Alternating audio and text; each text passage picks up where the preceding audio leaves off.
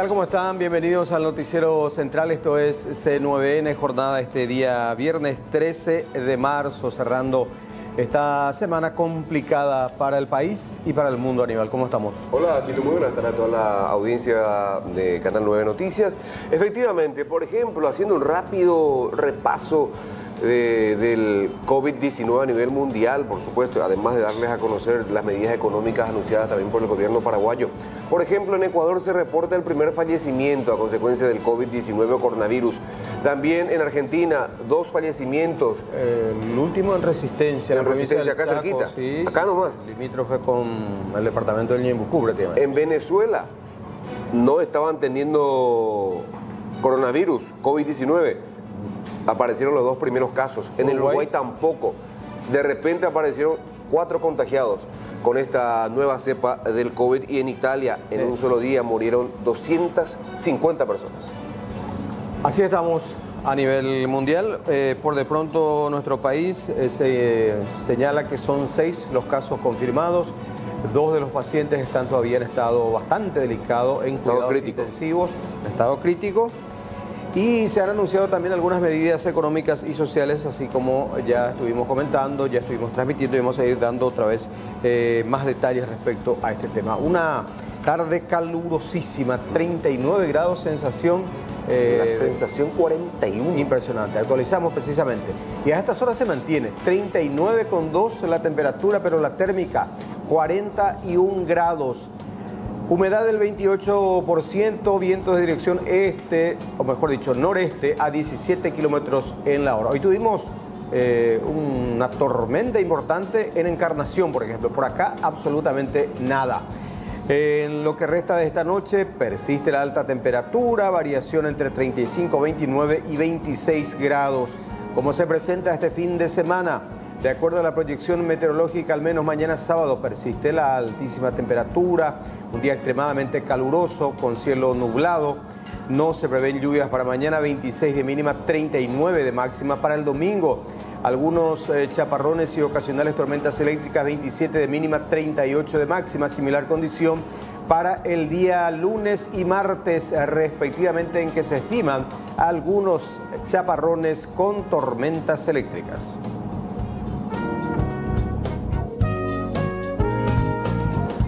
Vamos a la cotización de monedas, cómo cerraron las principales monedas en esta semana. Fíjense en el dólar, en el comportamiento, en la moneda argentina, en la moneda brasileña también. El dólar en la compra 6.280 guaraníes, bajó levemente. En la venta se mantiene en 6.380. El euro se mantiene en 7.000, en la compra, en la venta 7.250. El peso argentino 75 guaraníes en la compra, en la venta 87. El real en la compra 1.270, en la venta 1.370.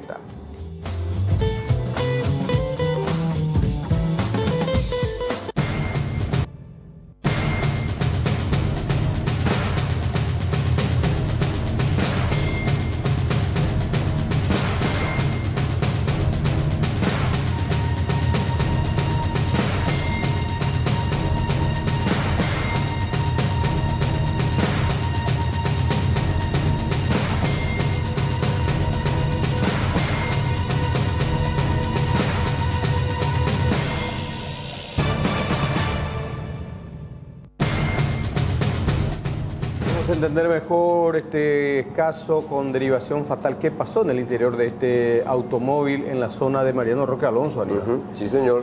Un trabajador del volante de, la, aplicación Uber. que perdió la vida. Sí, señor. De manera violenta. Lorenzo García está con los eh, detalles, está en la comisaría décima del área central, precisamente en Mariano Roque Alonso. Lorenzo, buenas tardes. Hola, ¿qué tal? ¿Cómo estás, Silvio? Buenas tardes para vos, para Aníbal, para toda la teleaudiencia, Canal 9 Noticias. Efectivamente, estamos aquí en la sede de la comisaría décima central de la ciudad de Mariano Rocalonso, comisaría que tuvo participación principalmente en encontrar el vehículo que fue denunciado como abandonado. A las 7 y algo de la mañana se estaba visualizando este vehículo, un, vecino justamente llamó al sistema 911 e informó a la Policía Nacional que se encontraba un rodado eh, porque este vecino se percató que estaba abandonado el rodado porque las puertas delanteras estaban totalmente abiertas, el, vidrio también de una de las puertas estaba totalmente hacia abajo, entonces ante esa situación uno de los vecinos del barrio El Mirador de la ciudad de Mariano Roca Alonso llamó al sistema 911 y comunicó de esto a los oficiales de esta comisaría décima central y a partir de allí se comenzaron a atar los cabos relacionados a este caso que precisamente llamó poderosamente la atención con relación a todos los efectivos de la Policía Nacional. Esto teniendo en cuenta que en, horas de la mañana ocurría otra cosa totalmente ya en la jurisdicción de la comisaría 22 metropolitana, estamos hablando de la zona de Loma Pitá, donde precisamente el comisario Oscar García nos mencionaba los detalles con relación a todo lo que sucedía con este transporte, con este vehículo de color negro que utilizaba Diego Pérez para realizar su tarea de Uber en forma diaria. Pero queremos compartir precisamente esa nota con el comisario Oscar García con relación a este penoso caso que costó la vida de un trabajador con relación a esta a esta situación justamente relacionada de este Uber que en extrañas circunstancias falleciera. Vamos a escucharlo al comisario. Bueno, eh, el día de la fecha, siendo las 02 horas, se alertó acá que se encontró un cuerpo tendido en la vía pública, ¿verdad? específicamente allá cerca de la cancha de Señorico. Acudió la patrullera y constató la veracidad del hecho. A partir de ahí se inició la investigación que estamos continuando, ¿verdad? Y prácticamente el vehículo en mención que tenía el sujeto, ¿verdad? Está en la comisaría décima central. Que se encontró en otro punto el vehículo. El vehículo se encontró en otro punto. Estamos haciendo los datos preliminares, estamos haciendo con gente de domicilio. Sí. Y bueno, eh, prácticamente el, el, cuerpo ya fue identificado también ya. Tenemos familiares y se está buscando otras cámaras de seguridad donde nos pueda brindar que cuando se bajaron estos sujetos. ¿Qué se sospecha? ¿Que él lo habrían asesinado en otro punto y lo abandonaron allí donde se encontró el cuerpo? Eh, hay varias hipótesis, se maneja varias hipótesis, no podemos decir cuál realmente fue. Entonces, como le digo, estamos encaminados, está la etapa de investigación está en proceso, no podemos todavía decir precisamente qué, qué, es lo que pasó. Tenemos video también, estamos teniendo video que nos estamos acercando, ¿verdad? Que conseguimos de los vecinos. ¿Podemos ver esos videos, comisario? Se puede ver, eh, se puede ver. Ahí a mano. Te tengo que sacar el video del, del teléfono porque no, no tengo de a mano. Se nos están pasando ahora en estos momentos. Pero serían de circuito cerrado de televisión, comisario. Circuito cerrado de las casas particulares que están en la zona donde se encontró tendido el cuerpo. O sea, ¿y qué se ven en esos videos que ya pudiste vos ver para que nos cuentes? Se ve un auto, eh, un autito negro, eh, mirando así, presumiblemente un autito negro, así como la característica de este auto que se encontró en la comisaría décima central. Entonces, se cotejó todos los datos y se ubicó ahora. Y el vehículo, como le dije, está en la décima central. ¿Tiene manchas de sangre? Tiene manchas de sangre. Se hizo el procedimiento como correspondiente. Se fueron los personales técnicos, criminalística. Se dio participación fiscal de esa zona, como también acá de esta zona. ¿verdad? Después de la inspección al cuerpo, ¿cómo lo habrían asesinado? ¿De un balazo? ¿Cómo? Eso es lo que justamente te estoy diciendo, ¿verdad? Se está, el, el, cuerpo está en la morgue judicial. O sea, no tienen esa información. No tenían ningún documento el, el cuerpo sin vida. Se le trasladó por disposición fiscal a la morgue judicial, que en estos momentos se encuentra ahí, ¿verdad? Bueno, está bien. Dejamos seguir, comisario. Ahí está. Eh, como le dije, el video tenemos a mano. Sí. Se ve el autito negro. Se ah, ve el, ¿sabe, comisario, ya que estamos. Se ve el autito negro y donde se queda y apaga todas las luces, ¿verdad? Así lo escuchamos al comisario Oscar García de la comisaría de la zona de Lomaputala, número 22 concretamente, pero ahora vamos a tener la versión del oficial Ever Oviedo con relación al hallazgo de este vehículo en el barrio Mirador en horas de la mañana. Un vecino, me decía oficial, fue el que llamó al sistema 911 y a partir de allí ustedes tomaron intervención. Sí, buenas tardes. Justamente en horas de la mañana, aproximadamente las 7 menos 20, eh, una persona llamó al sistema 911 reportando un vehículo abandonado ¿verdad? y ambas puertas del lado izquierdo estaban abiertas con la llave puesta. Eh, por lo que acudimos rápidamente al lugar y ni bien llegué, revisamos un, el interior, ¿verdad? nos percatamos que se notaba un poco de resto de sangre, por lo que Pedimos comunicación al fiscal de turno, la fiscal Luciana Ramos en este caso, y ella dispuso ¿verdad? que convoquemos a personal especializado, personal de criminalística de la Policía Nacional.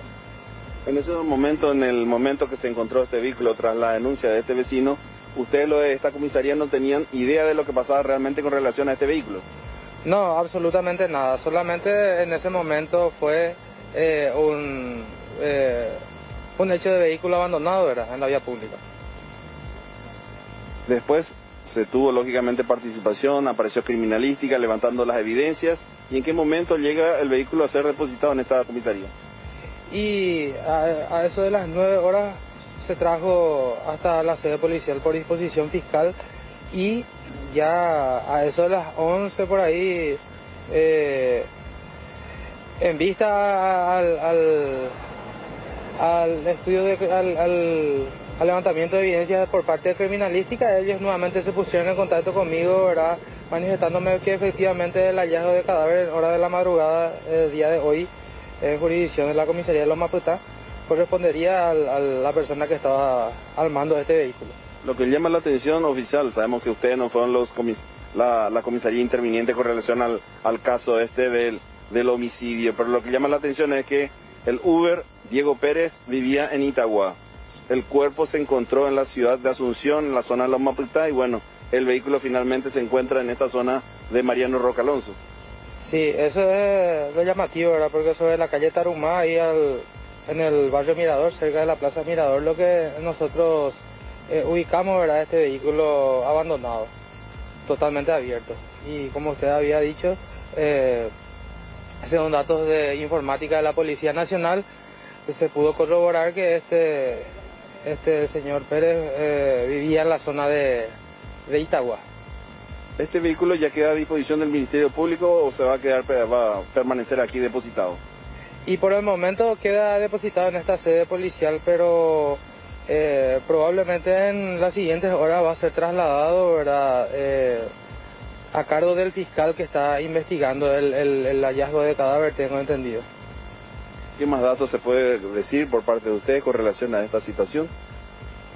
Y eso es lo que nosotros estamos manejando hasta este momento, ¿verdad?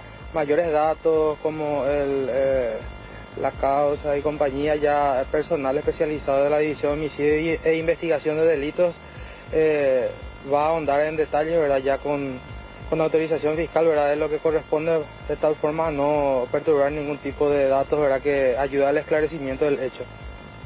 Bueno, gracias, eh, oficial Ever Oviedo, con relación a este hallazgo entonces de este vehículo que ellos, bien lo explicó el oficial, tomaron intervención a partir del llamado de uno de los vecinos del barrio El Mirador de esta ciudad de Mariano Roca Alonso, que avisaba que se encontraba un vehículo abandonado, ellos tomaron intervención y a partir de ahí comenzaron lógicamente a cotejar con la información que sucedía también en la zona de la comisaría 22 metropolitana. Sí, Sí, todo muy, muy llamativo, eh, el, el hecho en sí de, de homicidio, ¿verdad? Y, y luego que abandonen el vehículo eh, varios, o sea, a unos kilómetros de, de Lo Maputá, al menos en la zona ya de Mariano Roque Alonso, con la llave puesta, con, la, con los vidrios abajo. O sea, todo apunta a que la intención era acabar con la vida de- del, del conductor, o sea, no, no fue con fines de robo, digo. ¿Y, y qué es? algún ladrón, no sé cómo calificarlo, digamos, de poca monta y que solamente quería su recaudación.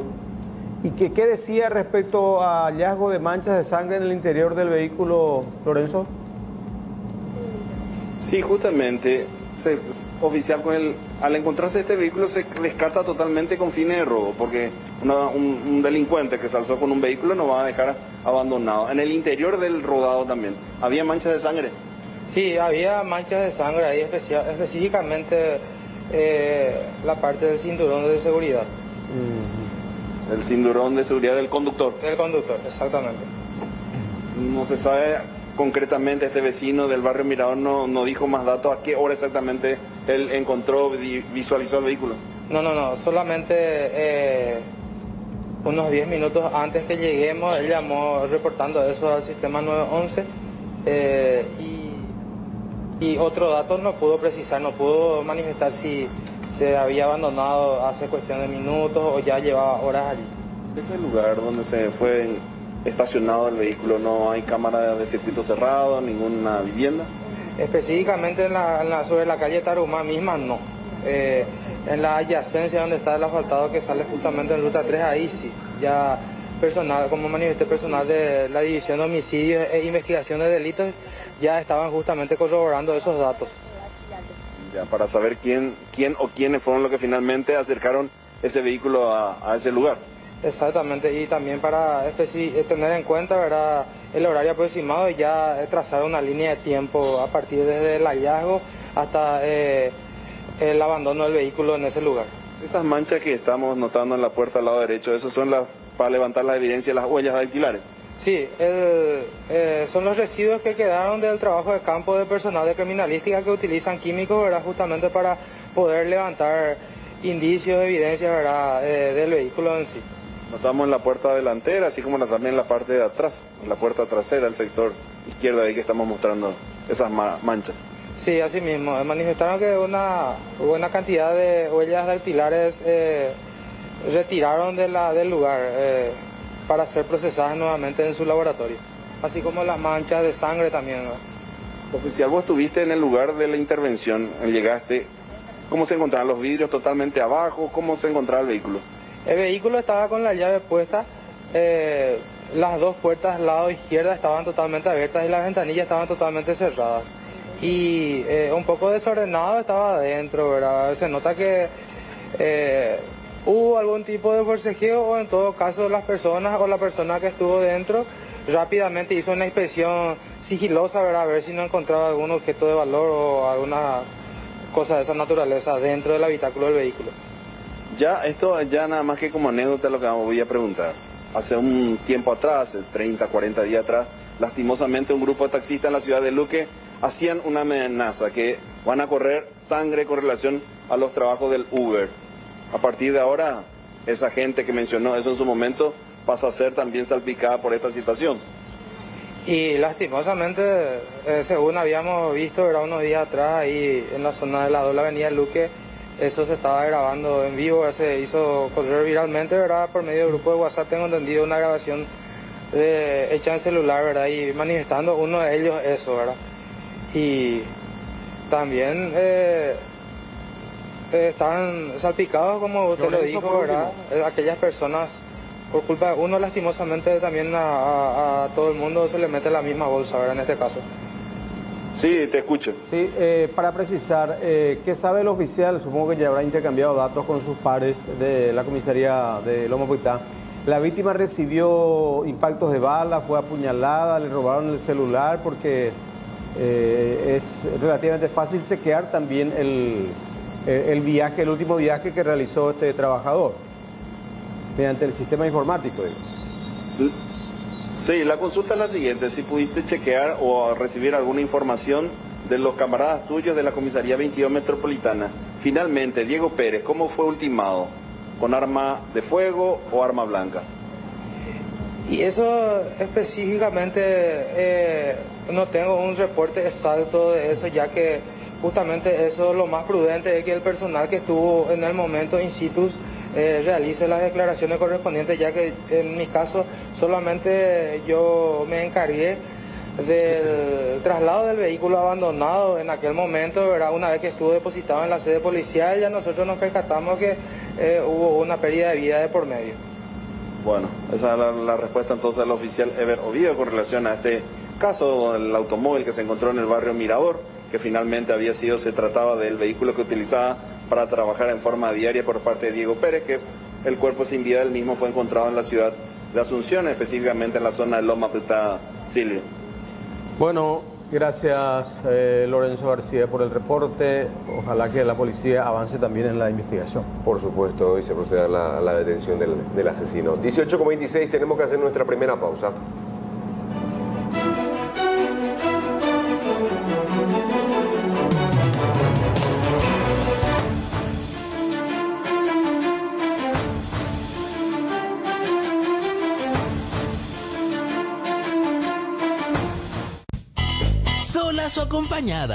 Las butifarritas Ochi dan alegría a los sentidos en cada bocado. Donde hay Ochi, hay fiesta. Asepsia presenta el nuevo Asepsia Bicarbonato Limpieza Intensiva. Su fórmula combina bicarbonato de sodio con agentes hidratantes, limpiando y exfoliando delicadamente tu piel. Usalo dos veces al día. Antes de salir. Después del fútbol. Al despertarse. Antes de irse a dormir. Lo primero por la mañana. Lo último por la noche. Solo déjalo actuar un minuto y enjuaga. No importa cuál sea tu rutina, hacela intensiva con el nuevo bicarbonato limpieza intensiva. Rápido, asepsia. No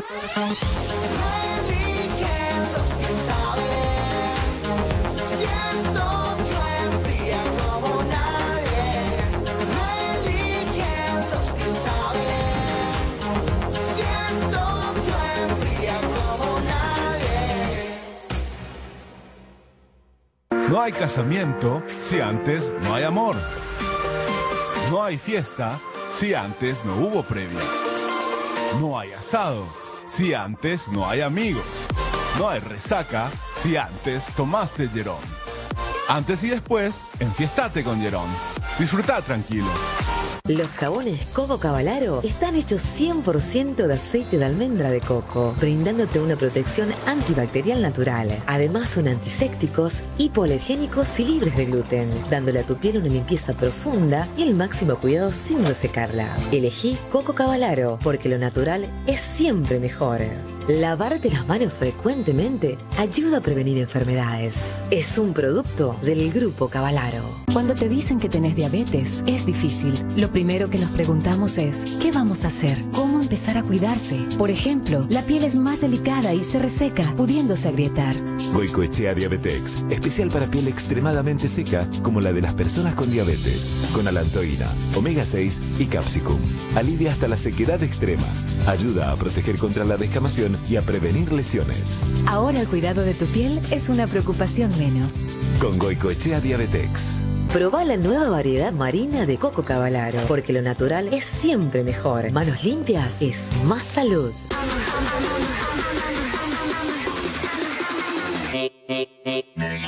Multiplicamos tus chances de ganar los pozos. 1.650 millones en premios por 10.000. 10 oportunidades de ganar los pozos. 100 millones para una sola persona. 100 premios en efectivo. Dos cartones en uno. El mega doblete de CNT se viene con todo. Pedí el mega doblete de CNT por hoy. Un clásico que no puede faltar en las mejores ocasiones. Es la costilla ahumada Ochi. ¿Ya pensaste con quién compartirla? Donde hay Ochi, hay fiesta.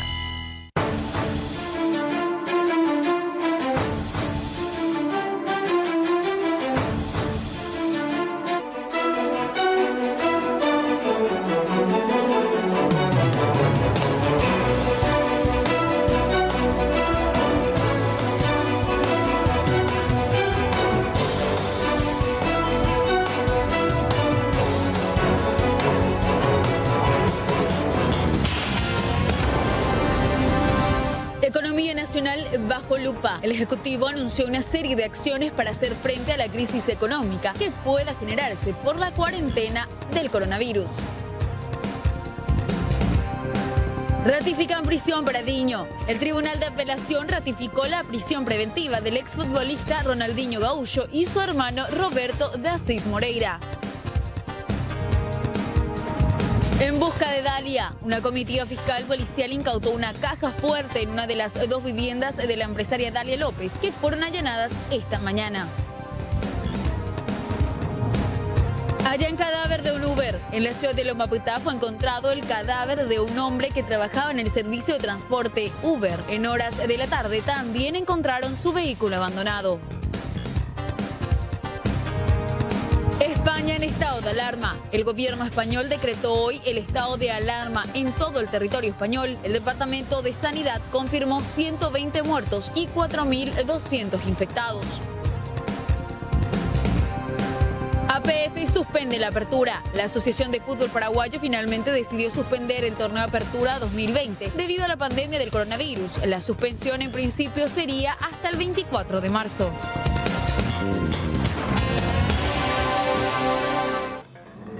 Bueno, hoy hubo reunión del equipo económico nacional en señor. Palacio de Gobierno y luego salieron a anunciar el propio presidente en este caso, una serie de medidas económicas y sociales. ante, medidas de contención le Sí, llaman. De mitigación. De mitigación y esperan que estas medidas eh, no duren mucho tiempo.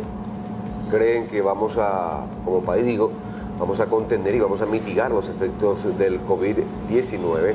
Por eso incluso creen que y mantienen la esperanza de que el país registrará este año un crecimiento del 4.1%. ¿Y cuáles son las medidas anunciadas en el transcurso de hoy por los integrantes del equipo económico nacional, por el presidente de la República? En primer lugar, equipos e insumos para salud por un valor de 530 mil millones de guaraníes. Y ahí me quiero quedar porque ayer nomás se reportaba un episodio con una mujer que decía requerir su traslado en ambulancia al INERAM y que llamó al 911, fue al hospital, no le dieron la debida atención. que presentaba todos los síntomas. Incluso, Iván, ahí ya pasamos eh, al privado.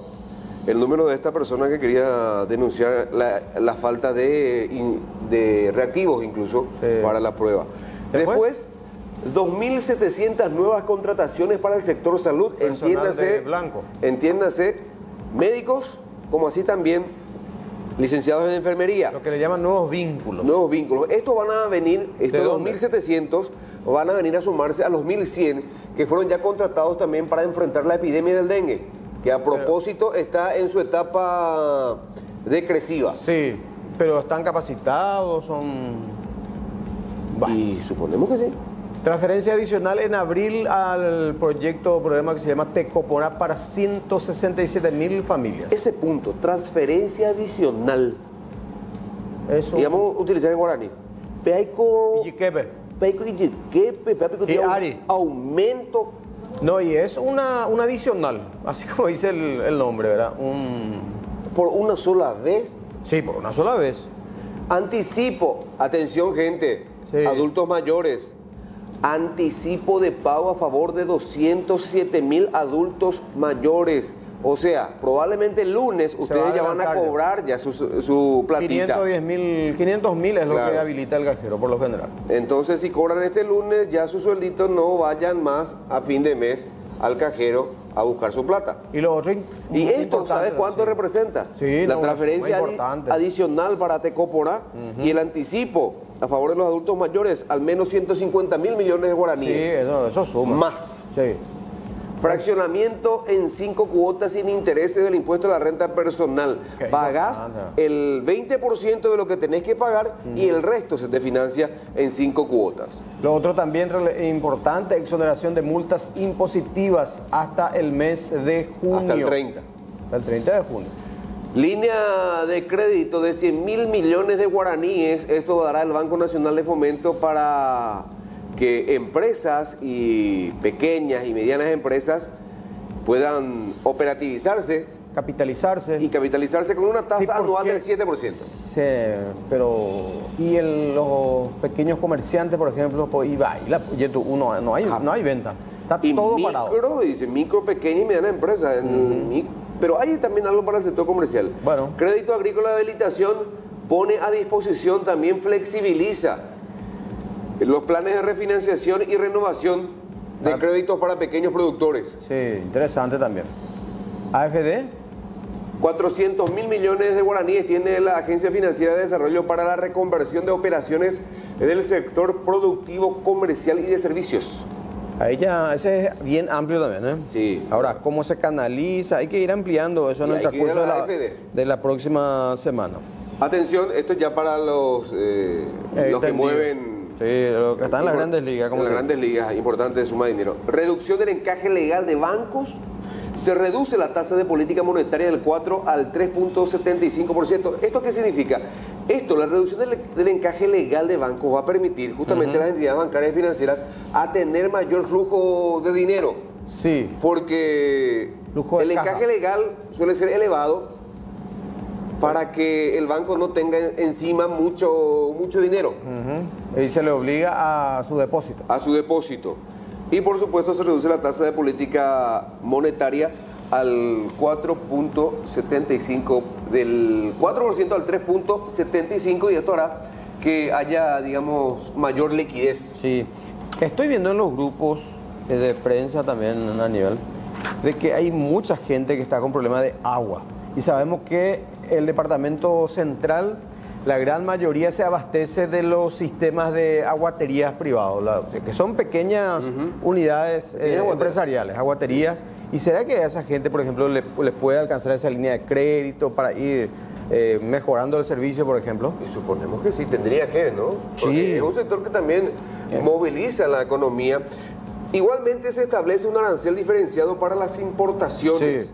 Reducción para la importación de bienes de capital, precios, precios referenciales y monitoreo, monitoreo digo, para insumos de la salud, licencia previa para productos de la salud. O sea, se facilita la obtención de Un esa canal licencia. especial habilitan Claro, para canal verde le dicen. Así, no con tantas exigencias para que de- más adelante se puedan ir poniendo eh, al día, digamos. Sí, señor. Pero precisamente eh, el anuncio de estas medidas eh, lo daba el propio presidente de la República, Mario Abdo Benítez.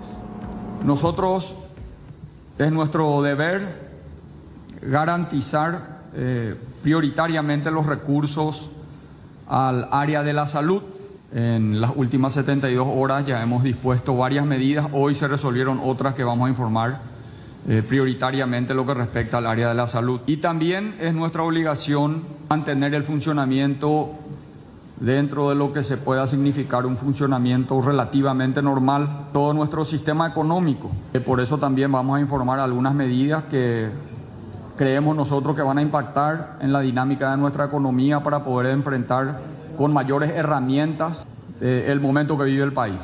Que evidentemente las medidas y la pandemia también va a afectar necesariamente a la economía mundial y a la economía nacional. Como apoyo prioritario al Ministerio de Salud Pública y Bienestar Social, se ha aprobado la compra de equipamientos e insumos por un monto total de 530 mil millones de guaraníes, seguramente dentro de un cronograma eh, establecido por el Ministerio de Salud Pública. También hemos aprobado líneas de contrataciones para personal de blanco, eh, 2.700 nuevos vínculos.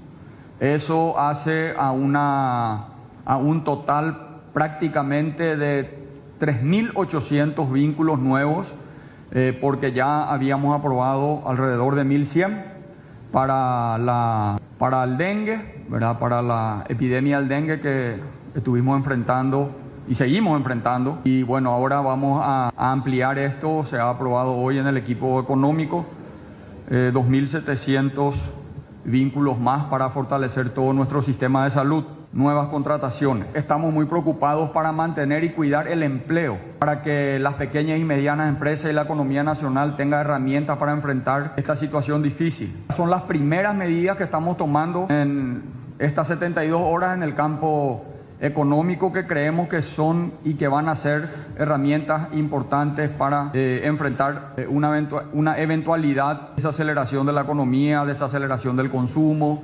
Está reconociendo el trabajo no del presidente, sino de todo el gran equipo de trabajo que ha tenido eh, y que ha resuelto tomar estas, medidas drásticas, preventivas, para poder mitigar el avance de- del virus. Les deseo a todo nuestro querido pueblo eh, que pasen un fin de semana en familia, eh, un fin de semana en unidad. Esto es lo que podemos hacer nosotros con estas medidas, pero nunca tenemos que olvidar tampoco el, campo espiritual. Les pido y les agradezco a quienes ayer se unieron en cadena de oración en toda la República, eh, transmitiendo un mensaje de paz, un mensaje de unidad que necesita nuestra nación. Bueno, algunas de las medidas, y después hablaba Humberto Colmán, quien está interinando el Ministerio de Hacienda, se le preguntaba si toda esta situación, porque en el presupuesto las autoridades económicas están estimando para este año un crecimiento de 4.1%. Se le consultó en esta conferencia de prensa al, al ministro sustituto de Hacienda si esta situación del coronavirus y estas medidas económicas de contingencia que se están adoptando permitirían mantener esa expectativa de crecimiento y dijo que sí, dijo que sí, que se mantiene esa expectativa de crecimiento del 4,1%. Ojalá. Ojalá, ¿verdad? Sí. Pero que dependíamos también eh, bastante del tiempo que dure esta pandemia que nos Sí. afecta. Porque a nivel regional, digamos, estamos en la primera fase. En la primera fase recién. Y ojo, gente, porque el ministro de Salud, Julio Mazzoleni, ya fue consultado también si esta emergencia sanitaria, esta, esta medida de contingencia o de mitigación, como queramos eh, llamarla, va a regir solamente hasta el 25 de marzo, estos 15 días que se estableció inicialmente. Y decía el ministro Julio Mazzoleni, vamos a ver qué pasa la semana entrante. La próxima semana será decisiva para resolver si continuamos con esta serie de prohibiciones y medidas económicas de contingencia, le- levantamos la medida o la aplicamos de manera alternada. Sí, porque las medidas anunciadas al menos recibieron, o sea, tuvieron buen, buena receptividad por parte de organismos internacionales. Y Paraguay es el primer país que Sí. está eh, aplicando estas medidas económicas de contingencia. Y abogamos que funciona. Esperemos que sí. Bueno, eh, una problemática básica de servicio básico eh, tiene que ver con la falta de agua que está golpeando varios barrios de Asunción y Gran Asunción en los últimos tiempos. De hecho, estamos eh, ante una falta de lluvia prolongada también y el SAP tiene sus excusas. Es un sistema que de hecho requiere una inversión multimillonaria, y, pero esas inversiones no se pueden dar tampoco porque no hay, no hay recursos. Supuestamente para este domingo se promete ya una solución a la falta de agua. Hablando de medidas paliativas sería más bien. Pero, ¿qué decía precisamente el titular de ESAP sobre esta problemática grave? Porque una de las recomendaciones principales es el lavado constante de manos. Y si no tenés agua... ¿Cómo vas a aplicar la, la recomendación? Imposible. Escuchemos al presidente de la SAP.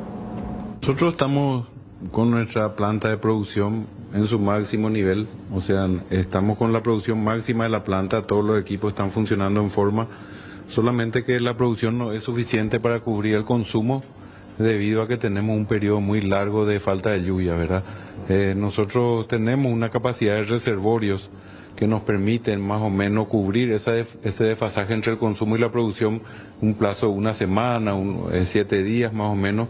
Y bueno, eh, eso se, se recargan de nuevo cuando existe una lluvia cuando o, ca- o cambia la temperatura. natural. No, no es una recarga natural. La lluvia no nos recarga nuestro sistema, disminuye el consumo, entonces nosotros no se riegan los jardines, no se, no se lavan los autos, no se riegan las veredas para limpieza, o sea, se deja utilizar prácticamente un 40% de, de agua en el sistema, entonces esa- eso que se deja utilizar nosotros enviamos a nuestro reservorio para llenar nuestro reservorio.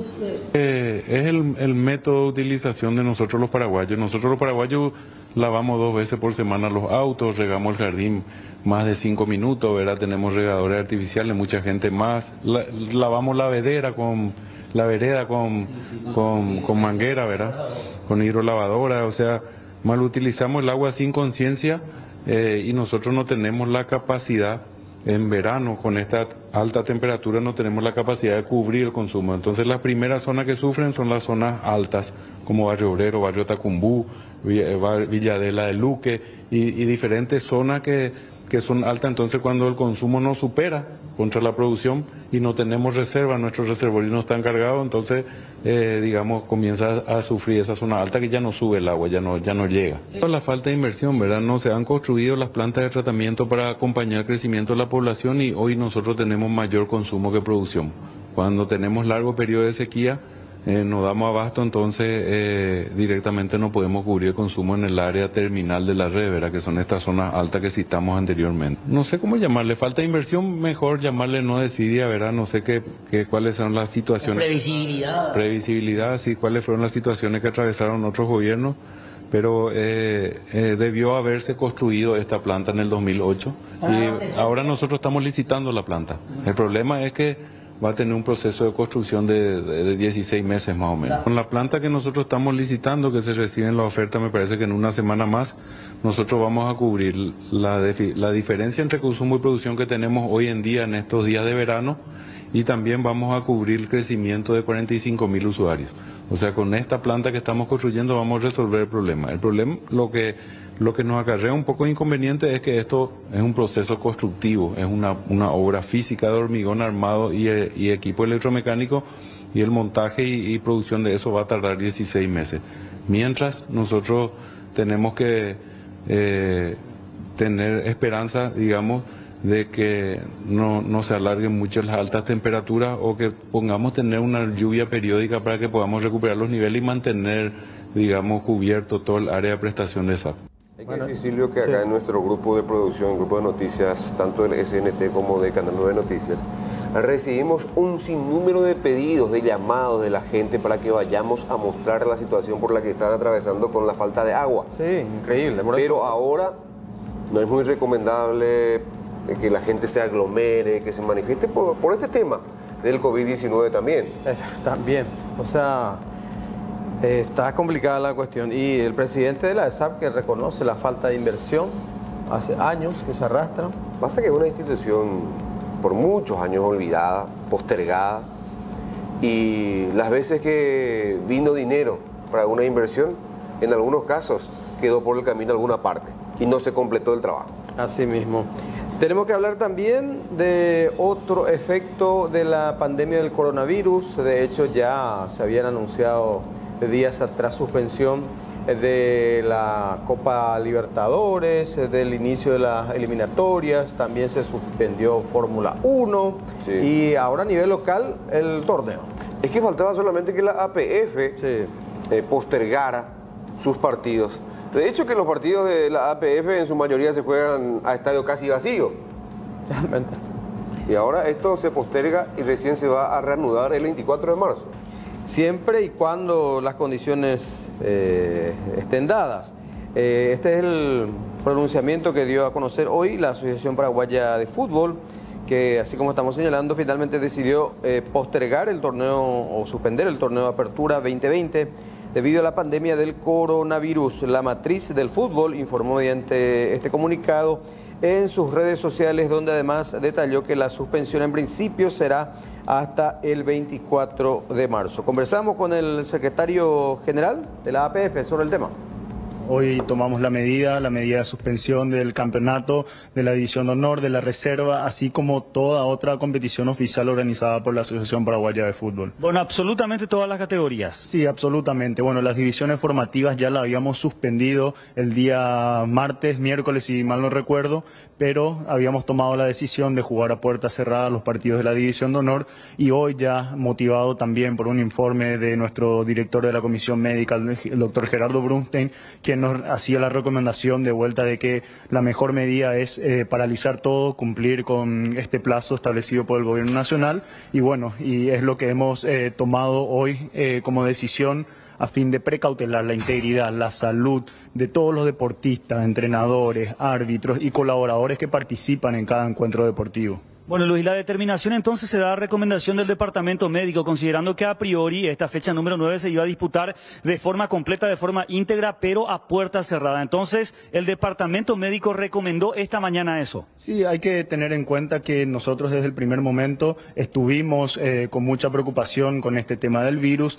estuvimos en permanente monitoreo, en permanente estado de atención, nuestro presidente Robert Harrison también en permanente comunicación con el ministro de Salud, así que esto no es una decisión tomada de la noche a la mañana, es algo que se viene hablando ya con el correr de los días, eh, evaluando la situación a nivel país, la situación a nivel mundial, así como también las suspensiones de las distintas competiciones a nivel internacional. Y bueno, hemos creído que es la decisión más sabia a fin de proteger la integridad de todos nosotros. Bueno, decisión estudiada, reposada entonces, consensuada también con el Ministerio de Salud, con parte eh, del gobierno. Ahora, ¿ustedes no manejan ninguna información de que algún deportista, algún futbolista eh, ya tenga o ya haya dado positivo, haya sido sometido a algún tipo de estudio eh, del coronavirus? No, absolutamente. Nosotros desde la Asociación Paraguaya de Fútbol queremos dar un mensaje de tranquilidad a todos. No tenemos conocimiento de que ningún deportista, ningún futbolista, ningún atleta haya dado positivo ni que tenga los síntomas del coronavirus. Esto es nada más que una medida de prevención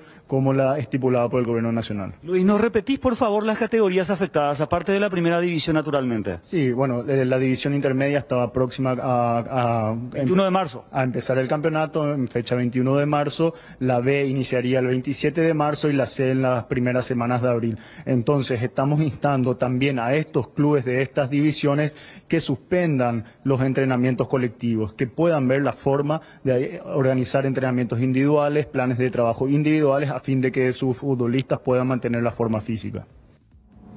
Y ahora vamos a mantener una comunicación telefónica.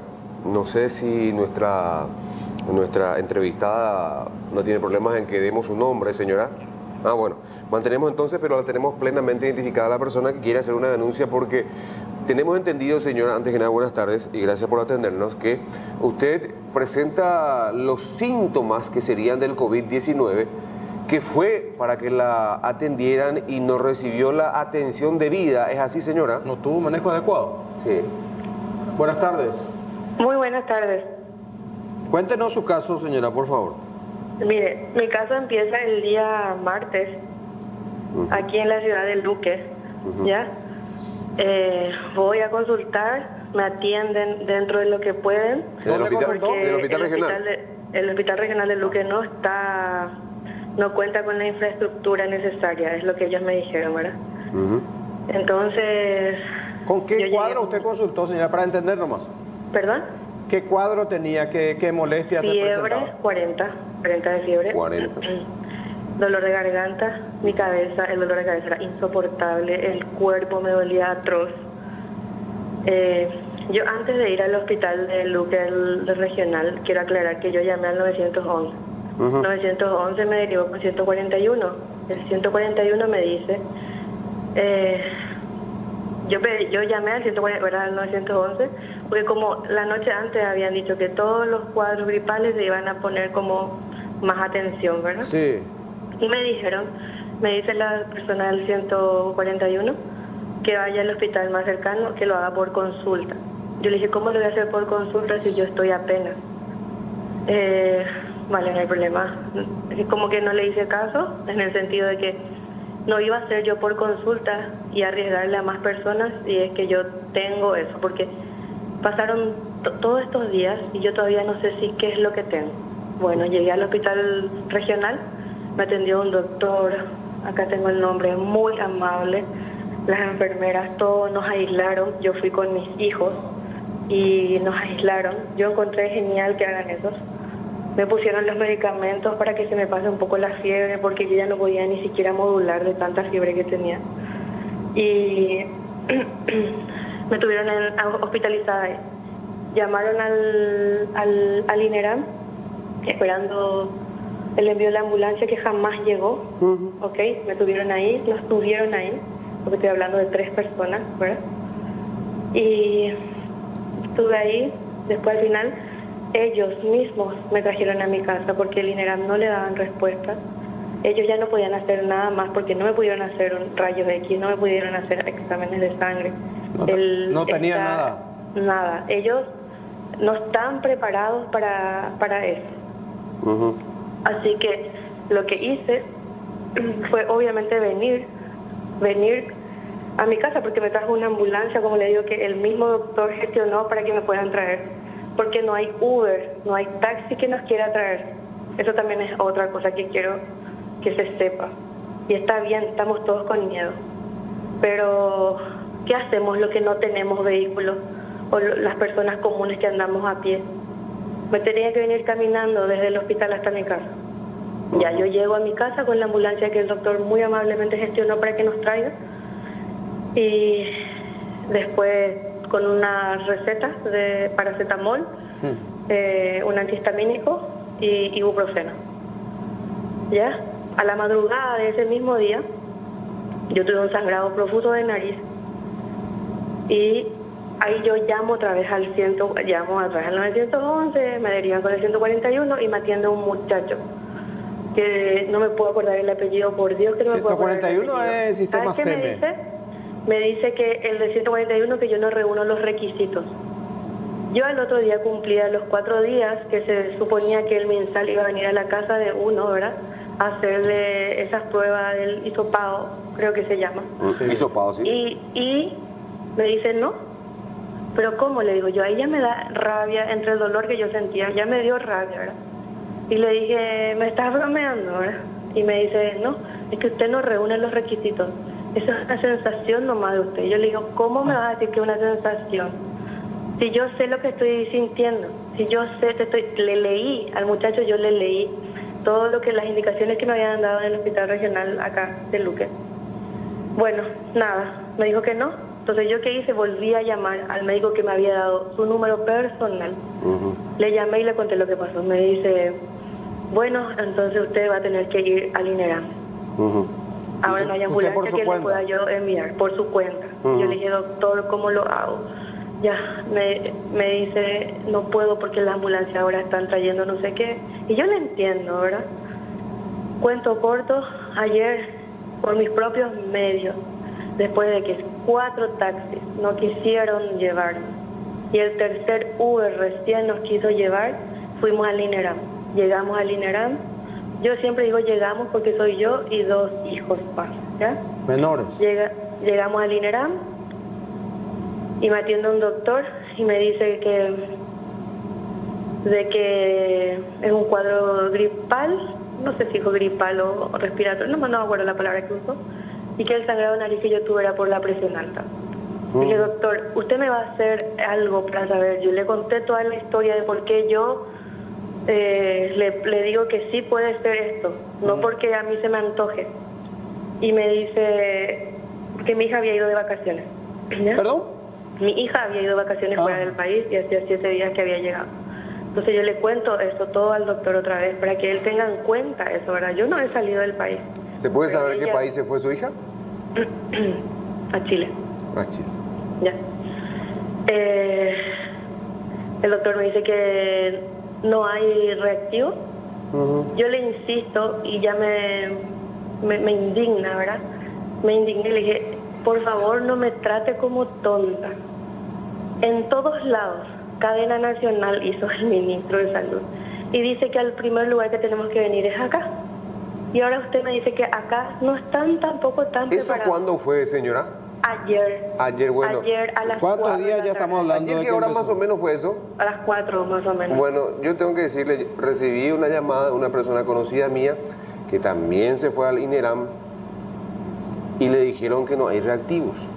Y, me comentó que también una joven recibió la misma información. La misma negativa. La misma negativa. Yo no sé si habrá sido usted o algo- una, una tercera No, persona no, que que te... habíamos varios ahí. Y habíamos varios. Lo que pasa, lo que yo... ¿Usted no tiene el nombre del médico? Sí, sí tengo acá el nombre del médico, se lo voy a pasar ahora. Él, yo le dije, yo necesito que usted me haga algo, doctor. Le dije, o sea, que me haga una placa, rayos X, que me haga un examen de sangre. No me puedo ir otra vez yo a mi casa, le dije, sin saber lo que tengo. Si yo tengo eh, eh, el tema del COVID-19, quiero saber para saber cómo se trata. Y si no tengo también, o sea, yo necesito una respuesta, yo no puedo llegar acá con todos los síntomas y encima usted me dice que no son los síntomas, que no entiendo cómo más quiere que uno se sienta. Me dice, lo que pasa es que ahora estás respirando bien y yo sí, pero ¿y todos estos días? Le dije, desde el lunes que estoy así. Y le volví a explicar, yo vengo desde el le- todas las peripecias que tuve que pasar para poder llegar ahí. Yo, le dije así abiertamente, yo sé que a usted eso no le importa, pero por favor pónganse en mi lugar, pónganse en el lugar de nosotros. Nosotros como ciudadanos, como paraguayos necesitamos una respuesta, ya no estamos más en el país de la joda. ¿Y sabe qué, cuál fue su respuesta? Que ahí yo sí le vi esa cara y ese tono de sinceridad. Yo no sé por qué dijeron que acá era todo si los reactivos no están. Esa es mi denuncia. No es ni contra el médico, no es contra... Es por qué nos mienten. ¿Por qué Sí, nos nosotros mienten? mismos nos sumamos a todo esto, mostramos eh, un ¿Ya? sistema de Por- salud supuestamente de primer mundo y No, no, ¿por qué nos mienten? ¿Y por qué si uno presenta todos los síntomas, ellos ¿No es Rodrigo minimizan lo Campos que tu uno está médico? sintiendo? Rodrigo Campos, el médico. Rodrigo Campos. El 10 de marzo consultaste, acá tengo la orden que te dieron. No te puedo creer. Acá tengo. Eh, 590 termina tu número de cédula. Así mismo. Bueno. ¿Y, y- y cómo está? ¿Qué pasó? ¿No- a- a- ¿Al final recibiste alguna atención? ¿Cuál es Mira, tu cuadro? de actual? tanto que le hinché, porque esa es la palabra, de tanto que le hinché y me planté ahí, le dije, yo no me voy a ir de acá hasta que usted me diga, me haga algo. Yo no me siento bien. ¿Usted cree que yo le voy a mentir? Yo no voy a quitarle el lugar a otra persona. Ya, la fiebre me Aparte, volvió a ¿quién subir. quiere decir que está teniendo un cuadro sospechoso de, de coronavirus, Claro, verdad? O sea, y le di todo, a las o sea, le di todo el por qué yo sospechaba, ¿verdad? Y por qué fui con mi familia a- hasta ahí, arriesgándole también a ellos, porque a lo mejor ni siquiera es. Pero es que como nos toman por tontos, porque esa, esa es lo que uno siente, te toman por tonto. Yo le dije, doctor, aquí algo me tiene que hacer, le dije yo, si no hay reactivo, entonces llamemos, llamemos al ministro no, no sé, llamemos al, al MinSal entonces para que mañana vayan a mi casa y nos hagan los análisis correspondientes, pero no nos dejen así. La palabra que yo le ocupé y le dije al doctor, realmente le voy a, la voy a ocupar, nos tienen como bolas sin manija, Claro, de aquí para allá. No es justo. Señora, eh, si usted me dice que tiene todos los síntomas, lo ideal que usted esté en casa, que se vayan a su casa a tomarle las muestras, y, Y no que lo usted que esté yo- deambulando de aquí para allá en busca A de eso es un, lo que yo voy. A eso es lo que yo voy. Estamos hablando Eh, de un caso. de un caso. Y yo tengo el caso de ayer también que me... ¿Y al final qué pasó, doña? Mire, al final, eh, como le había dicho anteriormente, acá en Luque me habían dado eh, paracetamol, ibuprofeno y el antihistamínico. Me dice, eh, sigue tomando esos medicamentos y cualquier complicación. Y ahí es como que me da risa, pero una risa así como de, ¿qué me estás diciendo, verdad? Vuelves. Y ahí yo me reí, le dije, vuelvo para que, para que me diga que no hay. Y me dijo, mire, la gente que está internada, es, eh, para ellos se habilita como eh, eh, los medicamentos, no sé, no sé, El- eh, el, el- el protocolo, vamos a decir, ¿ya? Yo le dije, pero ¿y, y qué hago yo con esta cantidad de fiebre que tengo? Tomo nomás el paracetamol y tomo Oreí nomás. O sea, yo no me automedico. Vengo, consulto con ustedes, hago todos los pasos que hay que hacer, todo como corresponde. Llamo al 911, al 141. Después ya, ¿sabe qué? Llamé también al este eh, 154, ¿verdad? Que jamás respondieron, jamás en la vida. No, ese todavía no funciona. Ah, con razón que no respondieron, Sí. pero bueno, ¿para qué ponen entonces que llamemos a ese número? Después, nada, me dijo que me vaya, que, que venga para mi casa. Ahora está en su casa. Ahora estoy en mi casa, ahora estoy en mi casa. Y, y gracias a Dios, anoche no hice fiebre, pero hoy a la tarde ya hice otra vez fiebre, 38. ¿Y usted está así desde el, Lunes, desde el lunes, Desde el una lunes. semana? Sí, ya estamos. desde el lunes, llevo una semana. Gracias a Dios, mis hijos no ya están asintomáticos, total, no, ya no tienen fiebre, no les duele la cabeza, nada, la que está mal soy yo. Y no es porque sea exagerada, yo no quiero exagerar, pero yo sé cómo me siento, ¿verdad? Entonces yo lo que yo mi queja y mi denuncia más que queja es no nos mientan, no nos hagan hacer de aquí para allá deambular y, y, y después cuando nos tengan ahí no nos den ninguna respuesta certera a lo que uno tiene. Porque a lo mejor no es, ojalá Dios quiera que no sea. Pero ¿y si es? ¿A cuánta gente yo le pude haber contagiado Sí. en mi ida nomás luego ya en el Uber? En, en su paseo. O en la vuelta que tuve que hacer en colectivo, porque no había taxi que me quiera traer, ni Uber, porque el muchacho de Uber me dijo ayer, señora, cuando tenemos prohibido recoger gente del aeropuerto y de los hospitales. Yo le dije, ¿qué me dices? ¿Qué voy a hacer ahora? Yo, ¿cómo me devuelvo a Lupe? Eh, ¿Y se vale, fue en bus? No te preocupes, le dije. ¿Sabes por qué me iba a poner yo a, a darle explicaciones a un extraño, verdad? Porque solo yo tenía, tenía en mi cabeza eh, y yo solo sé cómo me siento, ¿verdad? Pero también es mi temor de contagiar a personas si es que tengo el, el tema este, Claro. a personas que estén sanas. Y también es mi temor de que eh, me llegue a pasar algo peor porque no me están tomando en cuenta. Nadie señora- en su sano juicio va a inventar, o sea, por lo menos yo no voy a inventar para llamar la atención, por favor. Estaba leyendo declaración del señor Guillermo Sequera diciendo que incluso los cuadros eh, gripales, resfríos, que son muy similares al Sí. COVID-19, van a ser tratados también como si fueran COVID-19. Eso lo dijeron el lunes en las noticias. Pero que de la diferencia fundamental radica en la tos seca. Mm. ¿Y usted tiene esa tos seca? Claro que sí. Acaba de toser. Acabo de toser. O sea, esa, pero es una tos seca. El dolor de cabeza, eh, el dolor de cuerpo. Ese que uno se agita, que está todo cangú. Voy a decir en guaraní para que se entienda. Sí, de Yucua. De Yucua, de. Está cangupa, así mismo. O sea, de hecho yo ahora salí de la habitación porque yo me vine a mi casa y estoy en, la, en, en una, en mi habitación sola. Sola, no dijo que entre nadie. Eh, me dejan la comida ahí por la ventana. No, a mí de verdad, porque yo no sé lo que tengo. Y no puedo arriesgarle a mi familia tampoco. Y yo ya cumplí con todo lo que ellos pidieron, que cumplan por favor ellos. O sea, ya que ustedes tienen mi dirección, tienen todo sobre mí, eh, le pasen a alguien, no sé, que el ministro se entere y que venga a hacer su trabajo, de, de que mande Hablando su de gente. eso, señora, información de último momento. Al aire, el tuit, la cuenta oficial del ministro Julio Mazzoleni, se confirma el séptimo caso de coronavirus. Dice informe COVID-19, en nuestro país, Laboratorio Central, hoy procesó 17 muestras, 16 resultaron negativas y una positiva relacionada al segundo caso. O sea, al señor de Al 61 señor años que de edad. vino de Ecuador.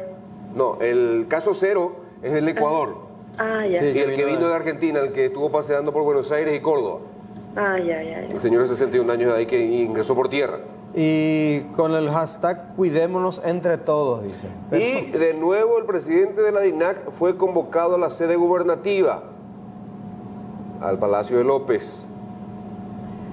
Hay que ver Bueno, qué señoras, que así como yo no dijo quiero hoy... que esto quede así en la nada. Por eso recurrí a ustedes, que son los únicos que pueden sacar la verdad de todo esto. Nosotros necesitamos saber qué está pasando. Necesitamos que nos atiendan. ¿Me entienden? ¿Cuántos más, a cuántos más le habrán dicho lo que me dijeron a mí ayer? Por suerte usted tiene un conocido que también le dijeron lo mismo. Pero ¿cuántos más? Y Sí. ustedes saben perfectamente que al paraguayo se le habla un poquito fuerte, un poquito golpeado y se queda callado. No nos podemos seguir callando estas cosas. Sí, Están señora. jugando con nuestra vida. Le agradecemos eh, la confianza para con nosotros y que la audiencia sepa acá también. producción que, tiene la que dirección de la señora. Que la dirección tiene, la dirección tiene todos Para los la datos de la señora, por ahí por si desde INERAN, desde Salud Pública quieren contactar con ella, llame a nuestro canal, por supuesto. Y decir también, Silvia Audiencia, que muchísima gente similar a su historia nos están contando, se están reportando con nosotros. no podemos sacarlos a todos al aire. Sí, realmente. Pero preocupe. Mucha fuerza, señora, que se, que, que mejore. Es lo que le me podemos dicen, Sí. hasta luego señora, me dicen que en INERAN hay mil reactivos y, que se, y ya se usaron 700. ¿Será? Hay que Porque a hoy en el IDM Juan Cáceres mostraba en una gráfica de que eh, había un esquema, un protocolo también eh, para seleccionar a pacientes con criterio y pacientes sin criterio. Y los eh, sin criterio serían los que no reúnen del todo, digamos, la- Ujú. los requisitos. Eh, esto que mostramos es en, otros países. Eh, ah, se mezcla un poquito con nuestra realidad, ¿verdad? Con el tema del transporte, por ejemplo. Pero eh, en cuanto al sistema de salud, digo, y eh, que sí hay, que sí habría reactivos para aquellos pacientes que reúnen todos los criterios. Y esta señora, por ejemplo, reunía, reunía todos los Y criterios. es lo que uno por lo que nos contó y por lo que estamos escuchando y leemos a diario. Y sí, y, y cumplió, ella incluso se salió de todo porque ya ni- ni- nadie le da pelota. Como en su dice. desesperación, a recorrer apes a pepe en busca de una atención. Pues vamos a mostrar el tuit del ministro de Salud, Iván. Hay que ver cuántos son los casos sospechosos, ¿eh? Y hoy eran 119. 119. 119, sí. Bueno, hoy se procesaron 17 muestras. 16 dieron negativo y una positiva relacionada al segundo caso. Total de casos confirmados, 7. Y repetimos esto. El director de la DINAC, Edgar Melgarejo, fue convocado nuevamente a la sede gubernativa, al Palacio de López. Nos dicen desde producción. En, ca- en camino ya enseguida vamos a tener eh, más detalles Ahora, desde el Palacio de López. Claro, Di- DINAC lo último que anunció es la suspensión de, de vuelos procedentes de Europa. ¿verdad? ¿Otra cosa o qué podemos esperar? Y se pueden restringir vuelos regionales. Porque ¿qué más, ¿en qué más puede intervenir la DINAC si no interviene en eso? Sí. ¿Verdad?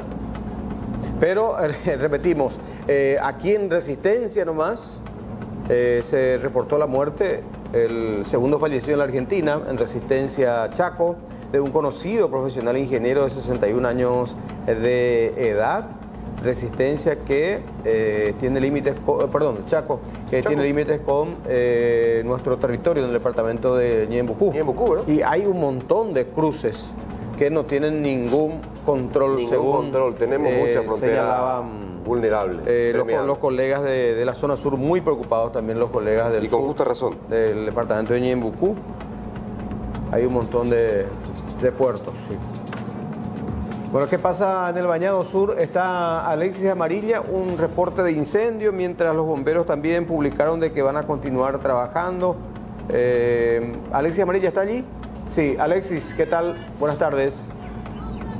¿Qué más de Hola Silvio, ¿cómo estás? El gusto de saludarte también. Saludos para Aníbal y la gran audiencia.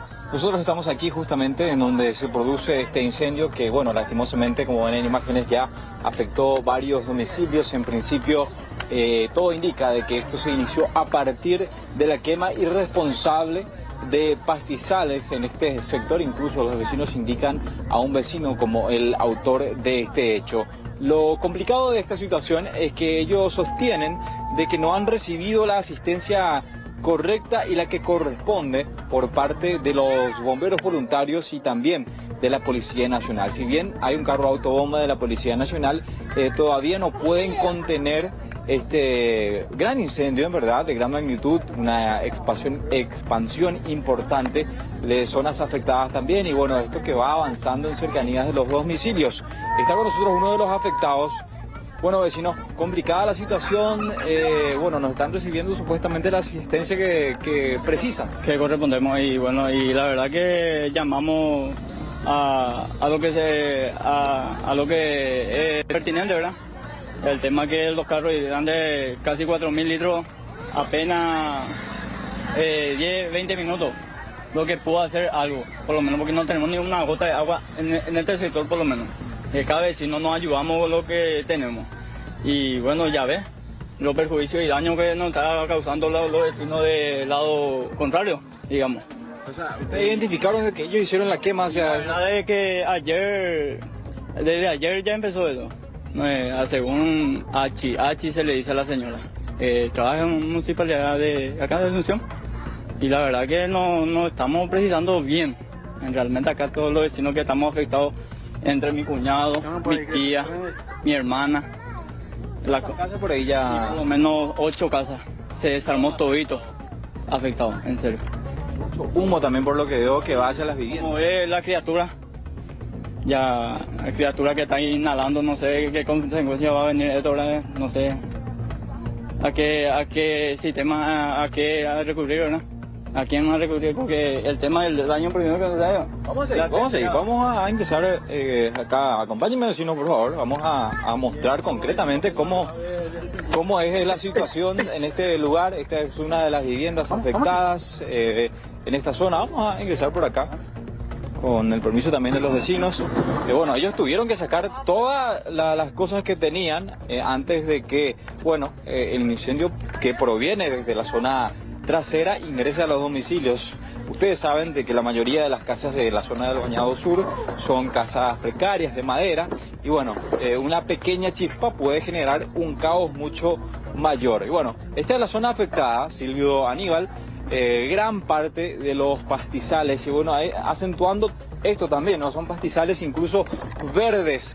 Y bueno, eh, en ese sector, hacia el otro lado, donde vemos una gran cantidad también de, de residencias bajo la misma problemática, eh, se habría iniciado este fuego que bueno, fue avanzando de a poco desde ayer en horarios de la mañana y bueno, ya llegó a aproximadamente ocho residencias en esta zona. Amigo, usted también es uno de los afectados. Ahí está mi casa, amigo, ese es el más afectado. Mi casa prácticamente yo tuve que sacar todo y todo, porque prácticamente allá, allá, un poquito lejos que era, pero no, no, a gusto, son irresponsables, cómo ven que está seco este estero y queman la basura. No, no, ya no da más gusto así, no sé qué solución podemos dar, no sé qué podemos hacer. O, o sea, por lo menos una ayuda para nosotros. Pues prácticamente rompimos toda nuestra tercia, tuvimos que sacar todo, rompimos todas nuestras cosas. La desesperación del momento, ¿verdad? Mira, eh, para mostrar solamente, ¿verdad? Eh, hasta este punto llegó el fuego y tu casa, o sea, una de las casas estaba prácticamente a un metro y medio. Sí, yo tuve que salir de mi trabajo, tuve que venir. Tuve que venir desesperadamente porque no. Mi casa se iba a quemar todavía, mi casa, esa es mi casa, tuve que sacar todito. No sé qué posibilidad hay, aunque no sea que nos ayuden en algo. Claro, están necesitando de, de elementos básicos para la casa. Cualquier cosa será muy, muy útil para nosotros. Porque prácticamente perdimos casi todo. Nuestra tercera, rompimos todo, la circulación no vimos más nada. ¿Y qué posibilidad hay, aunque sea que nos ayuden en algo? Claro. Eso es importante, ¿verdad? Y los compañeros de producción y sueco lo van a anotar. Un número de teléfono para a los que puedan llamar. Eh, no, un número de teléfono. ¿Tu número, amigo? 91 36 em, no, no, perdón. Eh, 192 3601 05. Una vez más, por favor. Eh, 92 36 0132. Ahí, a ese número entonces pueden comunicarse los eh, que quieran colaborar. Señora, me decía usted que bueno, no tienen incluso agua también, ni ustedes pueden, se pueden defender solos. No, tampoco no podemos defendernos porque no hay agua. Nosotros no tenemos agua. Este sector no tiene agua, este sector. Y este, esta es la casa de la suegra de mi hermana. Y ella tiene una chica embarazada. Y lo, el humo que se levantó y también se asustó y se, le- se le tuvo que llevar. Y Dio muy sí, mal con la situación. Sí, se asustó, se asustó. Allá en el medio está... Y se está prendiendo otra y nosotros tenemos nuestra casita y allá está nuestra casita. Y a nosotros nos está afectando también, ya que a ellos le afectaron todo, a nosotros nos está afectando ya. Y a- al muchacho, pobrecito, mira un todo, todo quemado. Vamos, vamos a vamos a salir otra vez hacia este sector. eh, impresionante, en verdad, se, pues, se siente eh, el humo, la gran cantidad de niños. Bueno, lastimosamente también ellos son afectados con esta situación, pero ellos tam- tam- tampoco están teniendo agua hace unos cuantos días ya. Y bueno, eso genera también otra situación mucho más complicada. Están todavía los efectivos policiales eh, con el carro hidrante, bomberos voluntarios. Y bueno, eh, no se puede sostener esto. Bueno, amigo, impresionante. Eh, una, ¿cuánto? ¿Cuatro o cinco hectáreas mínimo esto? Sí, exactamente, así mismo, amigo. Y esta es mi casa que tuve que sacar todito, rompí casi todo lo que lo poco que tenía, amigo. Y por lo menos una ayudita nos ser muy beneficiario. Eh, rápido actuaste, por lo menos salvaste a de tu, tu maderas y demás. Y de la separación de que quise salvar, rompí casi todo otra vez. Y esta, esta es mi linda casa. Y hasta acá llegó el fuego, hasta ahí llegó, amigo. La Impresionante. O sea, esta es tu, esta es la residencia del amigo. Y bueno, hasta aquí prácticamente bordeó toda esta zona el fuego, que bueno, imaginamos que ha sido bastante grande, con el calor también, y bueno, ya las maderas quemadas, tuviste que salir desesperado. Sí, exactamente, así fue, amigo. Y si no reaccionaba a tiempo, y si mi humilde casa se iba a quemar todo. Y de, quise- de que quise salvar, decompuse más. Pero yo es grande y vamos a recuperar vez. Por la inconsciencia de la gente de que tuvo que quemar, sabiendo que este, este esteral se secó todo y la inconsciencia de la gente tuvo que quemar basura y no controlaron. Además, más problema aún al ser aparentemente vecinos los que quemaron. Exactamente, así mismo. Pues no sé quién fue, pero se sabe todo quién es, pero ah, ya sabrá cómo solucionar la gente eso. ¿Y qué dice los bomberos cuando le llamaron, la gente de, de- de emergencia? Y nos dijeron, nosotros llamamos y nos dijeron que ya está cansado de venir, ya vinieron varias veces, que ya están cansados, que fue a propósito esto y ¿cómo ellos van a decir eso? Siento que eso es su trabajo de ellos. Ellos tienen que decir así. ¿Qué bomberos son? No sé la mente a mí. ¿Al que está hacia dónde, señora? Hacia Carlos Antonio López. el- A ellos le llamaron. O sea, se le llamó a ellos después de, muchísimas veces se le llamó a ellos en, en- por teléfono. No nos hicieron, dijeron que iban a venir, iban a venir y después, como después de tres horas se le llamó a ellos y nunca vinieron. Se, se fueron a buscarle a ellos y ahí le dijeron que no, le, uno no hizo omisión de ayuda a la gente, porque se les necesita, por eso se le llama. Se fueron a buscar y supuestamente no tenían chofer. Otro porque no tenía agua, supuestamente. Tremenda la Después, situación, gracias señora.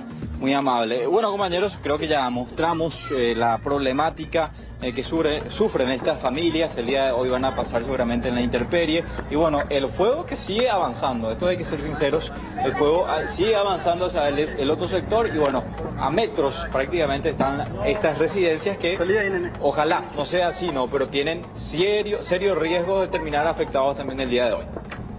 Bueno, lastimosamente la inconsciencia, La inconsciencia. de algunos pobladores. Entonces, quema de pastizal, lo que alguna vez fue un esteral, ahora lógicamente una sequía tremenda y facilita la propagación de- del fuego. Estabas hablando de irresponsabilidad e inconsciencia de la gente, pero si una señora reaccionó, golpeó, insultó a un bombero que le dijo, señora, por favor no queme la basura, esto puede provocar un incendio. De ahí Ah. Eh, sí, eso creo que fue Anoche, en San Lorenzo. ¿En San Lorenzo? Sí. En Capilla del Monte. Capilla del Monte, en la zona de los eucaliptales. Y así Bueno. estamos. 19 con 22 eh, minutos. 39 la temperatura. Impresionante. Sí, señor. ¿Qué hacemos, Iván? Ah, San Juan, San sí, señor, emergencia. Estamos hablando de San Juan Misiones. Sí, emergencia departamental. que Departamental. declara La Junta Departamental. Considerando, a ver, la nota presentada por el Ejecutivo Departamental en fecha 13 de marzo del corriente año, en la cual solicita al Cuerpo Legislativo Departamental el estudio y consideración de la declaración de emergencia departamental en carácter preventivo, teniendo en cuenta la posibilidad de que se produzca casos de coronavirus dentro del Departamento de Misiones. Él resuelve. Él resuelve ya. Va- Vamos al resuelve. Después ya Porque todo no de protocolo. si- La pasada no tenían ni ambulancia también en Misiones. Declarar, punto uno, emergencia departamental en carácter preventiva. el carácter. Ah, bueno, preventivo. No, otro tema. Ante la posibilidad de que se produzcan, se produzcan casos de coronavirus COVID-19 por las consideraciones brevemente expuestas en el considerado. Eh, Sí, se apela a la ciudadanía a tomar conciencia de la gravedad de la pandemia que afecta a varios países del mundo. Se comunica y se archiva una mera, para mí, una mera manifestación. ¿Qué Formalidad. Una formalidad. Firman este documento el abogado Richard Rolando Ramírez, presidente de la Junta Departamental, el doctor Javier Ferreira Boquet, secretario, y el licenciado Teodoro Mereles Ortiz, también secretario de la Junta Departamental de Misiones. Ah, el bombero agredido, sí. Vamos a ver el- lo que decíamos, la agresión que sufría el bombero por reclamarle a una señora el hecho de estar quemando basura que podría derivar en, una, en un incendio de mayores proporciones. A ver. Tiene audio.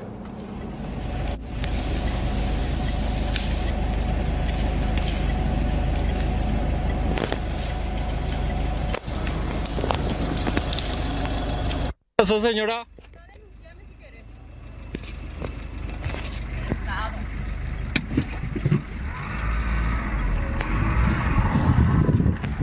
¿Puedes repetir? ¿Qué es lo que quieres? ¿Eh? ¿Qué es lo que quieres? ¿Eh? ¿Qué es lo que vos te crees? Tú. Anda. Suerte que no te rompa todo.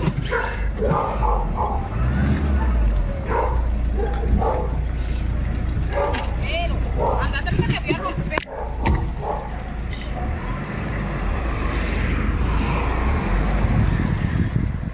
Esto ocurría en plena doble avenida allí en Capilla del Monte anoche. Este, lamentable realmente la reacción la de esta creo, según pobladora. relataba el, el bombero, le produjo una herida a la altura del, del labio superior. Sí.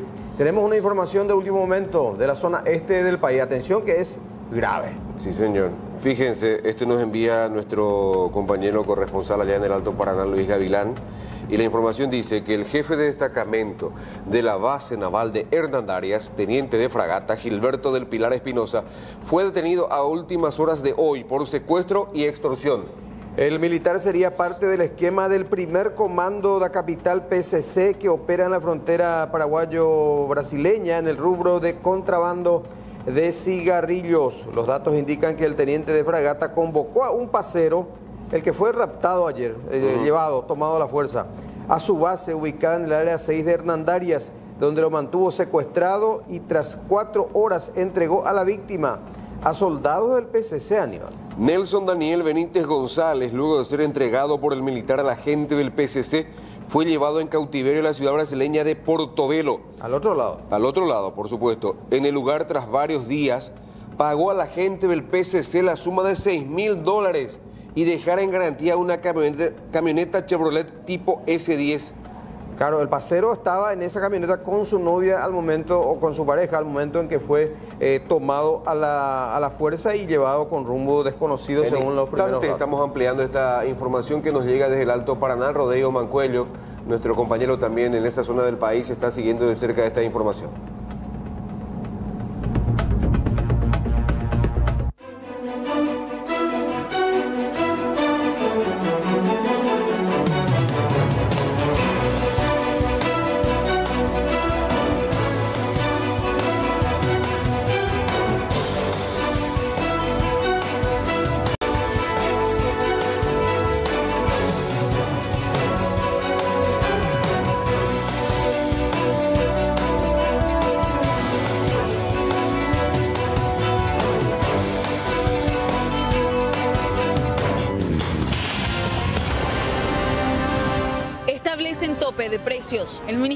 Salud aprobó la resolución a través de la cual se establecen precios de referencia para insumos críticos relacionados al coronavirus, como tapabocas y alcohol en gel. 47 muertes confirmadas. En conferencia de prensa, el ministro de Salud, Julio Mazzoleni, confirmó que ya son 47 los fallecidos a causa del dengue y resaltó que las cifras de la epidemia a nivel país siguen descendiendo. Controles más estrictos. La Dirección Nacional de Transporte empezará desde hoy a sancionar a las empresas de transporte del interior que llevan más de 10 pasajeros parados. Los controles se intensificarán en las horas pico. Misa por televisión. Por prevención, las tradicionales misas de la Basílica de Cacupé se realizarán a puertas cerradas. Los feligreses podrán ver la ceremonia solamente por televisión hasta un nuevo comunicado. México, 18 casos de coronavirus. México alcanzó los 18 casos confirmados de coronavirus. Los últimos dos se registraron en Crétaro. Ambos casos fueron calificados como importados por las autoridades sanitarias del estado. APF suspende la apertura. La Asociación de Fútbol Paraguayo finalmente decidió suspender el torneo Apertura 2020 debido a la pandemia del coronavirus. La suspensión en principio sería hasta el 24 de marzo.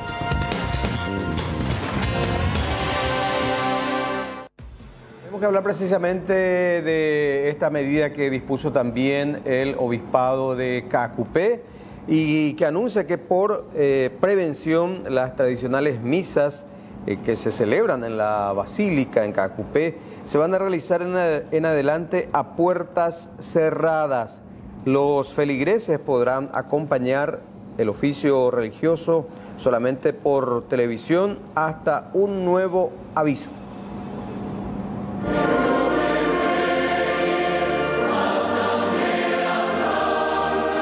Marco del Plan de Contingencia Nacional contra el Coronavirus, la Basílica Santuario Nuestra Señora de los Milagros de Cacupé decidió suspender hasta el 26 de marzo todas las misas y actividades litúrgicas que impliquen la aglomeración de personas. Las misas sí se realizarán, pero a puertas cerradas sin feligreses y serán transmitidas a través de los canales de televisión, radios y sus redes sociales. Nosotros atendemos dos lugares específicamente aquí desde, desde la Basílica Santuario, la capilla San Roque González de Santa Cruz, donde estábamos nosotros caminando hace rato, y también la réplica capilla del Tupazicua, en donde nuestra gente se surte del agua bendita para llevar a sus hogares, para despejarse un poco, ¿verdad? Y eh, en ese sentido, nosotros decidimos suspender durante este plazo del 11 al 26 de marzo del 2020 y sugerimos, ¿verdad?, suspender todas las misas, todas las misas. Suspendimos aquí en la Basílica Santuario y en las mencionadas capillas. Las misas en las capillas San Roque González de Santa Cruz y réplica de Tupacicua fueron suspendidas.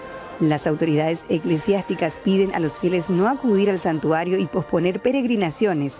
Solicitan que los ciudadanos permanezcan en sus casas en este periodo de tiempo propuesto por las autoridades nacionales y sanitarias. La misa de los días domingo eh, 15 y 22 de marzo solamente transmitiremos mediante las redes sociales, los canales de, de televisión que son ustedes, ¿verdad? Y eh, las radios que transmiten. O sea que estamos disponiéndonos para que haya la menor cantidad de gente posible. Y este, por ello solicitamos no acudir al santuario de manera masiva y posponer las peregrinaciones y visitas a la basílica. La Arquidiócesis de Asunción ordenó realizar misas a puertas cerradas en parroquias, santuarios, capillas públicas y privadas, incluidos los monasterios y conventos, para evitar el contagio del COVID-19 a los sacerdotes y fieles. Todos los templos y capillas quedarán abiertas fuera de la hora de misa, evitando la aglomeración, con la distancia unos de otros de al menos dos metros.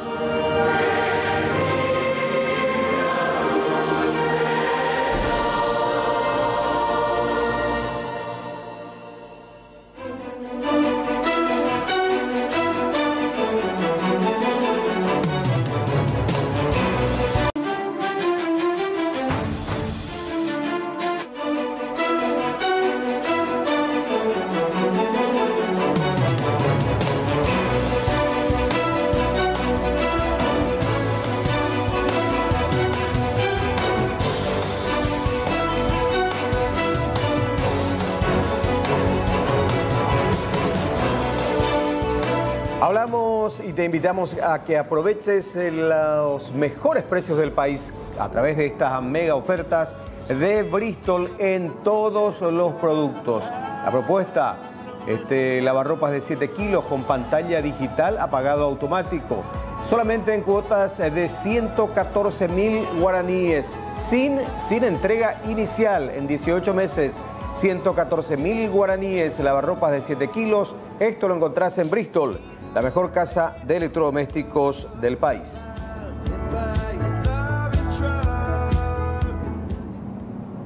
Y lo que estuvimos anticipando, la detención del jefe del destacamento de la base naval de Hernandarias, Rodrigo Mancuello. Contanos más detalles. ¿Qué tal? ¿Cómo estamos? Buenas noches ya. Buenas noches, compañero. Buenas noches también a la teleaudiencia. Es así como decías, se dio la detención de Gilberto del Pilar Espinosa. Esta detención fue ya a últimas horas eh, del día de hoy. Él es, como decías bien, jefe de- del destacamento de la base naval de la ciudad de Hernandarias. Todo este caso se dio a partir de una denuncia por parte de la tía de Nelson Daniel Benítez González. Él desapareció algunos días y fue amenazado por eh, eh, personas, bueno, de ciudadanía brasileña. Esto, eh, él también, bueno, la, la familia de, de esta persona que desapareció dijo de que él era pasero, se dedicaba a transportar mercaderías desde Paraguay hasta Brasil y fue amenazado porque supuestamente no terminó llegando eh, las mercaderías a su destino. Posteriormente, él fue liberado, declaró ante la fiscalía y bueno, de ahí también eh, se sacó el dato, los, eh, la comitiva fiscal junto con los agentes de investigaciones de la Policía Nacional dieron con el jefe del destacamento, estamos hablando de Gilberto del Pilar Espinosa. También él dio su declaración ante la fiscalía y bueno, la fiscal Sunilda Ocampos eh, habló con nosotros y esto es lo que nos dijo al respecto. Sentaron las dos personas que tenían orden de detención a los efectos de ejercer su defensa y aportaron datos eh, en el ejercicio eh, de esa defensa manifestando que efectivamente le conocen a la víctima, que le vieron supuestamente en la base naval y que de ningún momento eh, cometieron el hecho de secuestro y eh, aportando ciertos datos que nosotros vamos a ir co- eh, corroborando, ¿verdad? Como elemento de descargo. También manifestaron de que en ningún momento ellos le habían solicitado suma de dinero, que había un problema supuestamente entre estos brasileños y este señor y su primo. Eso es lo que ellos refieren a grandes rasgos. Y a través de los elementos que nosotros tenemos, hoy estamos presentando un proceso penal en relación a esas dos personas que se presentaron ante el Ministerio Público. Ellos están procesados por los hechos punibles de privación de libertad, coacción agravada y extorsión. Esos son los tipos penales en los cuales nosotros estamos incursando la conducta desplegadas por los mismos. Bueno, según los agentes de investigaciones de la Policía Nacional, manejan la información de que este ya detenido, Gilberto del Pilar Espinosa, formaría parte de un esquema eh, del primer comando capital que se dedica a transportar armas eh, desde Paraguay hasta, hasta, hasta Brasil. Y bueno, esta persona eh, estamos hablando de Nelson Daniel Benítez, el famoso pasero que dije anteriormente, se dedicaba a transportar armas y era contratado por este militar que finalmente eh, fue detenido. Ya este caso se encuentra a disposición eh, del Ministerio Público que va a continuar con las investigaciones a fin de esclarecer este caso muy grave que compromete pero mucho a las instituciones eh, militares aquí en la zona del este del país, compañero. Señor, esperamos que la agente fiscal Sunilda Ocampos profundice también su investigación. Gracias, Rodrigo. Buen fin de semana. Igualmente, hasta cualquier momento, compañero. Bueno, estamos eh, pendientes en Palacio de Gobierno de un nuevo anuncio que va a realizar en los próximos minutos el titular de la DINAC Edgar Melgarejo. Continúan reuniones en Palacio de Gobierno con la presencia del presidente de la República. Eh, se, habla de nuevos anuncios. Eh, repetimos también séptimo caso de coronavirus eh, confirmado en nuestro país. Se han descartado otras tantas muestras del laboratorio central. 102 casos sospechosos continúan bajo estudio. Pero en medio de toda esta situación bastante complicada por la que atraviesa eh, el mundo, hay que decirlo también, eh, se presentan también algunas eh, situaciones positivas, motivadoras, como esto que le mostramos a continuación, sobre todo desde la castigada Italia.